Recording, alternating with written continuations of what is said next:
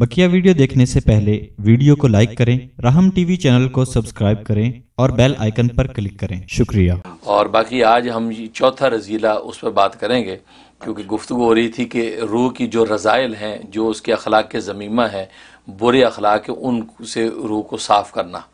جس میں پہلا زیادہ کھانے کی حرص تھی، دوسرا زیادہ بولنے کی حرص تھی، اور تیسرا غصہ تھا۔ آج چوتھے رضیلے پر گفتگو کریں گے اور چوتھا رضیلہ حسد ہے۔ اچھا۔ حسد اور جیلسی آپ جانتے ہیں حسد اور جیلسی ایک ماحول اور معاشرے میں ایک عام چیز ہے۔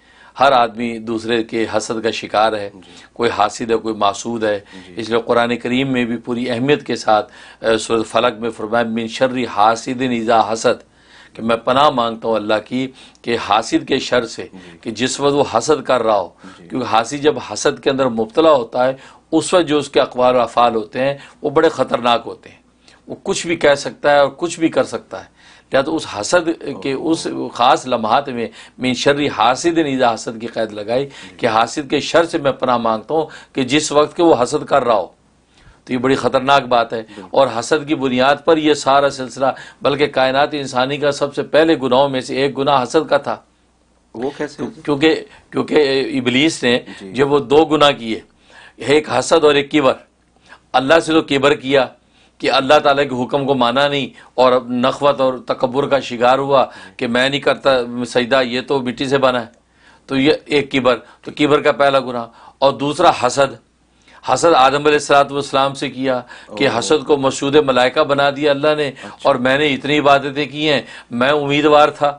اور اللہ تعالیٰ منصب دے دیا خلافت عرضی کا آدم کو۔ تو آدم سے حسد کیا۔ تو گویا کہ حسد اور کیبر جو ہے یہ پہلے گناہ ہیں جو اس کائنات کے اندر سب سے پہلے ظاہر ہوئے۔ اچھا۔ ہاں تو اس سے پھر آگے سارے جتنے بھی گناہوں نے جنم لیا اور پھر مزے کی بات یہ ہے کہ ان حسد اور کیبر میں سے بھی اصل حسد ہے۔ کیبر اچھا۔ اصل نہیں ہے۔ اچھا۔ کیونکہ حسد کیبر کی وجہ سے ہوتا ہے۔ کیونکہ حسد کے ہونے کے دو منشا ہیں یا کیبر کی وجہ سے ہوتا ہے یا عداوت کی وجہ سے ہوتا ہے۔ انسان میں تکبر ہوتا ہے نقوت اور اکڑ ہوتی ہے۔ تو جس کی وجہ سے وہ کسی کو اپنے ناک پہ نہیں رکھتا۔ اب وہ کوئی دوسرا آدمی خوشحال نظر آیا جی۔ اچھی شان والا نظر آیا اب اس کو اس سے فوراً جیلسی اور کھچاؤ پیدا ہو جاتا ہے کہ یار اچھا یہ ہماری ٹکر کا آدمی کہاں سے آ گیا؟ تو اب وہ اس کے بارے میں برے جذبات رکھنے لگتا ہے۔ تو گویا کہ تکبر جو ہے وہ بھی حسد کی وجہ سے پیدا ہو رہا ہے۔ اور یہ عداوت کی وجہ سے ہوتا ہے حسد پیدا۔ کہ اچھا۔ انسان کو کسی عداوت و دشمنی ہے اس کو خوشحال دیکھتا ہے۔ جی۔ اب یہ اندر ہی اندر کلستا ہے اندر اندر کوڑتا ہے جی۔ کہ یار یہ دیکھو یہ کتنا اچھا بھلا جا رہا ہے۔ جی۔ اب اس کے بارے میں وہ برے جذبات رکھتا ہے۔ اور برا جذبہ حسد کا کیا ہے؟ وہ یہی ہوتا ہے کہ وہ یہ تمنا کرتا ہے کہ یہ آدمی جو خوشحال ہو رہا ہے یہ یہ اس کی جو خوشحالی اور اس کی نعمتیں ساری کے ساری زائل ہو جائیں۔ تباہ و برباد ہو جائیں بالکل یہ کوڑیوں کا جو محتاج ہو جائے۔ ہاں مجھے وہ نعمت ملے نہ ملے کیونکہ دو صورتیں ہوتی ہے بس وقت ایسی نعمت ہوتی ہے حاصل یہ سوچتا ہے کہ یہ جو اس کے بعد نعمت اس سے چھن جائے اور مجھے مل جائے۔ اور بس اوقات ایسی نعمت ہو جو اس کو ملنے والی نہیں ہوتی۔ جی۔ لیکن یہ پھر حسن یہ کرتا ہے کہ یہ اس کے پاس بھی نہ رہے۔ اچھا۔ مجھے تو ملی نہیں نہ مل سکتی ہے نہ میں اس کا ہوں لیکن اس کے پاس بھی نہ رہے اور یہ نعمت اس سے زائل ہو جائے۔ یہ جذبات رکھتا ہے اور اس کے لیے پھر وہ گویا کہ اپنے شب و روز کا کوئی لمحہ ضائع نہیں کرتا۔ اقوال سے افعال سے احوال سے خیال سے وہ اس کے بارے میں کڑتا رہتا ہے جلتا رہتا ہے۔ جی۔ تو یہ کڑن اور جلن جو ہے یہ اللہ کو پسند نہیں ہے۔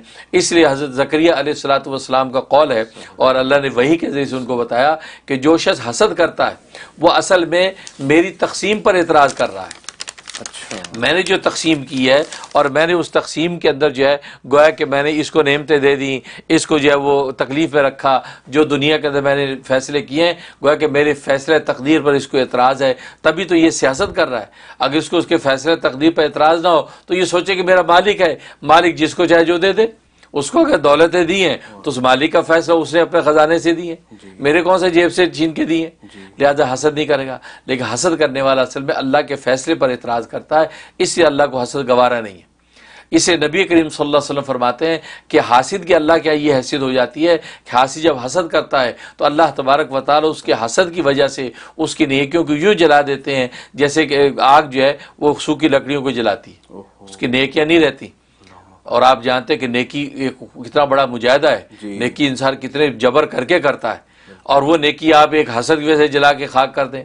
اور پھر ایک اور حدیث میں آتا ہے کہ اس کی برائیاں جو ہے معصود کی وہ جو ہے حاصل کی معصود کی برائیاں جو ہے وہ اس کے کھاتے میں ڈال دی جاتی ہیں۔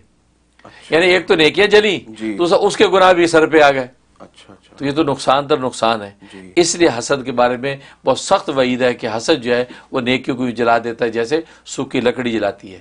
اس لیے جو ہے وہ تزکیے کی دنیا کے اندر اہل اللہ اور مشائق خانقاہ جو ہیں وہ اس پر جو ہے وہ محنت کرتے ہیں کہ یہ رضیلہ جو ہے روح میں سے نکل جائے حسد نکل جائے اور اللہ کی تقسیم پہ راضی ہو جائے۔ کوئی جو مجھے ملا وہ کوئی اور نہیں چھین سکتا کسی اور کو ملا وہ میں نہیں چھین سکتا۔ لہذا اللہ کی رضا پہ جب راضی رہ کے وہ اس کے شکر اطاعت میں لگتا ہے اب اللہ تعالیٰ اس کو دنیا میں سکون اور آخر میں جنت عطا کرتے ہیں۔ ماشاء اللہ